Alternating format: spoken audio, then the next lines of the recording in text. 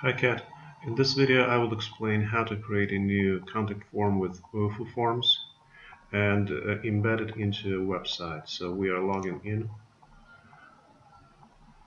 and the easiest way here is to just copy existing contact form and modify that accordingly to your needs. Uh, let's say that we are using the uh, personal image system contact form.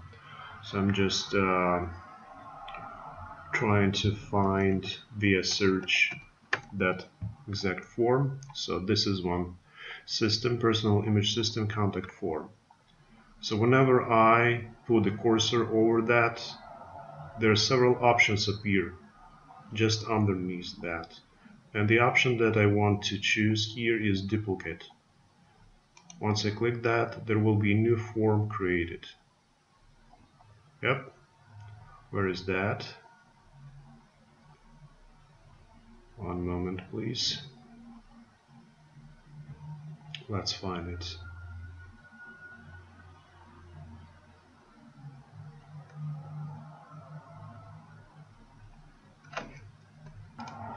Okay, I'm deleting everything from the filter here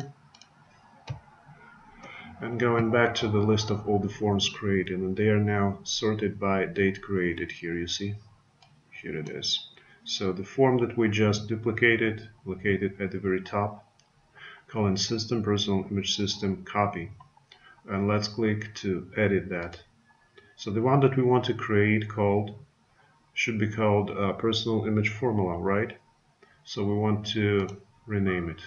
And you see uh, we have a lots of tooltips so whenever you hover over any of the elements a small tip appears. In this case this click to edit. So we click to edit. In, in order to edit you need to switch to the very top. So this area is being edited at the left here. So whenever we change anything here the changes will appear to the right okay? So I don't need a system here and we call it personal image formula contact form right?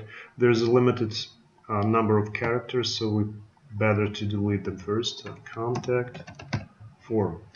Okay you may play with that adding different elements to here. You see we have here add field. And you may play with that several fields like single line text address, email, website, file upload. So we can easily drag and drop anything in here, okay? Or delete it from here. Uh, how we delete it? We just click on that and then, yeah, just click minus.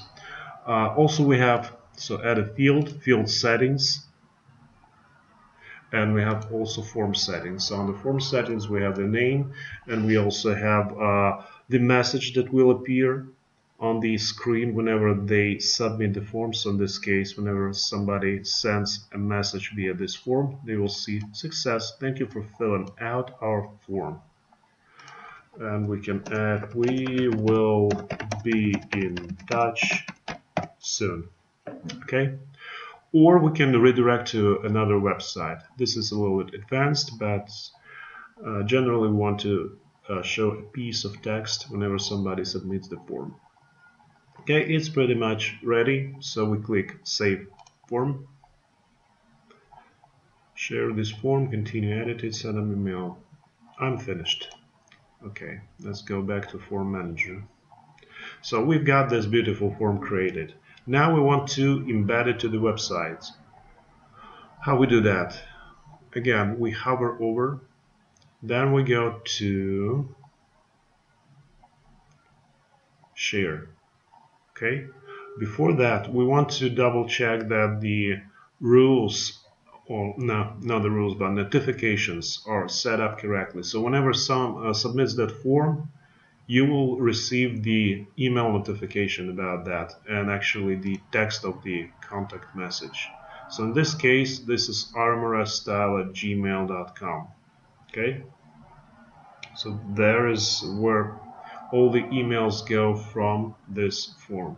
We or you may want to add via comma any email address that you want here to appear. Antonio at realman real style etc or your personal email address doesn't matter. Once you've done that just click save. And we want to go back to forms. Okay? Now we want to embed it into the website. As soon as this is personal image formula we want to open personal image formula website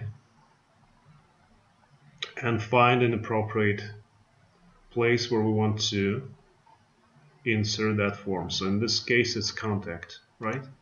So we click contact. And we click. Right now you see that it's using system personal image system contact form and we want that to be personal image formula contact form. We click edit page. Now we go back to Wufoo Forms highlight the personal image formula newly created form and we go to share button let's click share button and we want to embed that with JavaScript or embed with iframe, maybe on WordPress. Let me see. It actually doesn't matter much.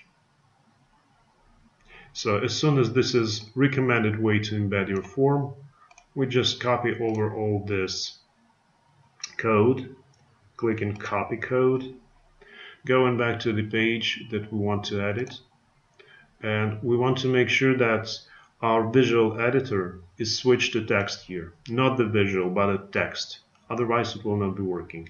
So if you have a visual active, switch to the text. Now we want to highlight the old form, delete it, and just paste the code that we just copied from Wufoo. And click update the message, uh, update the post. Once it's updated, let's see the changes that appear. Yep, now it's personal image formula contact form and it's ready. So that's the way how we create and embed the form into the website. Thank you. Bye.